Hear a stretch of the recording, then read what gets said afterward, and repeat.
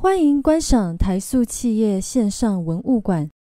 现在位于三楼塑胶与纤维产业展示区，请站在载满 PVC 塑胶粉的牛车前。这是我们早期使用的运输工具。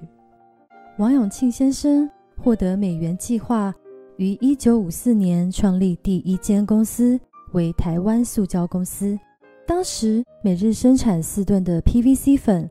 由于产量少、成本高，加上缺乏下游加工客户，导致严重滞销。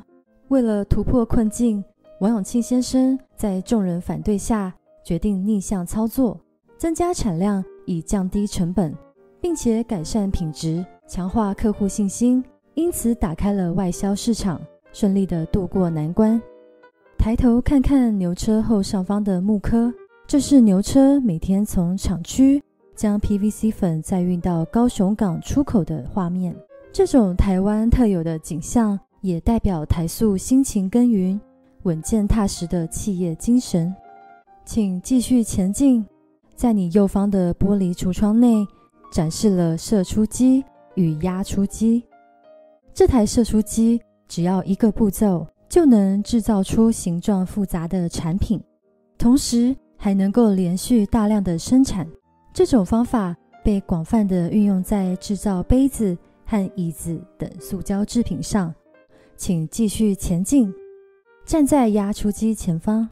这台压出机制成的概念是依照挤牙膏的方式衍生出来的。成品就如同压出机右边所展示不同口径的 PVC 管。我们家用所需的水管就是用这种方式制成。请继续前进。在你右方的玻璃橱窗内展示了一台胶布机模型。胶布机也是塑胶二次加工的重要机器。这台机器的特色在于从投料至完成阶段都在同一条生产线，并可以配合不同的订单需求，以快速的方式连续生产，是一种非常高效率的塑胶布加工机械。如我们家里美丽的印花窗帘与桌布。就是以这种方式生产出来的。请继续前进，站在黑白照片墙前。这些照片记录了台塑企业发展塑胶三次加工的过程。塑胶一次及二次加工都只能算是半成品。如果要成为我们的日常生活用品，就要透过第三次加工。因此，王永庆先生成立新东公司，生产皮包、窗帘。雨衣等三次加工产品。后来，为了扩大台湾三次加工体系，王永庆先生决定结束新东公司，鼓励员工出去创业，因而促成了石化工业的蓬勃发展，对台湾经济贡献良多。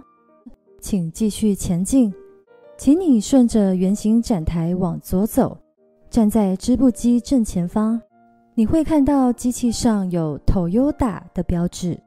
这台有缩式织布机是来自日本丰田织布机厂。当时这台机器每天只能产出一百码的布料，而现在取而代之的是新型的喷气式无缩织布机，产量比有缩式织布机多出了四倍以上。科技真的是日新月异呢。请继续前进。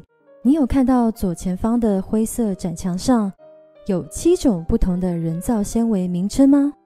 展台上所摆放的这些生活物件都是透过不同的人造纤维所制成。首先要介绍的是雷银纤维。雷银纤维非常的吸湿透气，想想看，这个特性适合制成什么样的生活物件呢？答案就是纸尿布。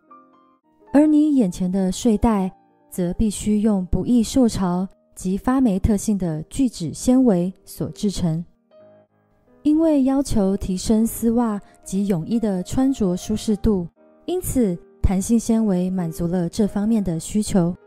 再来，我们看看左前方的地毯，就是用保暖性佳的聚丙烯腈纤维，也就是俗称的亚克力棉所制成。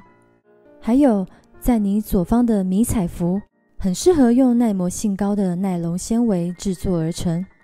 最后，你有看到一根钓鱼竿吗？它可是用比铝还要轻、比钢还要强韧的碳素纤维所制成的哦。人造纤维在人类生活中早已经不可或缺，而未来还会陆续有新的纤维诞生，继续带给我们无限惊奇。本楼层介绍结束，欢迎点选其他楼层继续参观。